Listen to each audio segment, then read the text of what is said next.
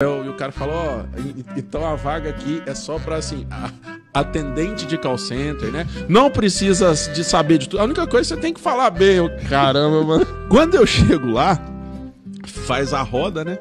E aí a pessoa falava, né? Ali, ali assim, o nome, tudo, tudo mais. E, e, e, e, assim, eu já ficava com a barriga gelada ali, né? Falando, cara, eu, o que, que eu vou fazer, cara? E eu preciso desse emprego, eu preciso uhum. desse dinheiro, senão eu não vou dar conta. E quando chegou a minha vez, eu não consegui falar, né, cara? Eu fui falar e, e aí todo mundo ficou olhando para mim assim, que eu fiquei nervoso mesmo. Aí eu, eu falei, calma que eu vou conseguir falar. Aí todo mundo começou a rir, eu falei, gente, eu sou gago. Aí todo mundo chorou de rir.